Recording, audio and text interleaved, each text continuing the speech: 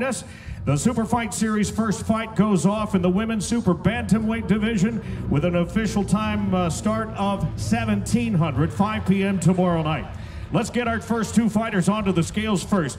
Rebekah Irwin and Yi Xu, who will be making her way to the Netherlands all the way from China. Rebekah Irwin onto the scales first. She fights out of Houston, Texas.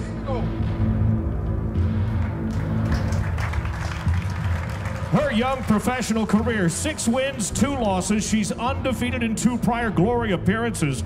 She became a world Muay Thai champion at the age of 17, now just 19 years old.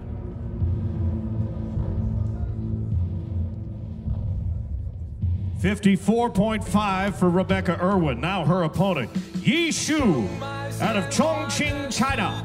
Seven wins and two losses. She is set to make her glory debut and she arrives on a three-fight winning streak.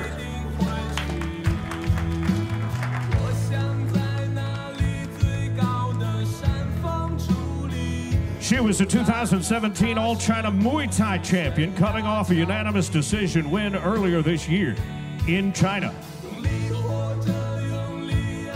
54.8 for Xu.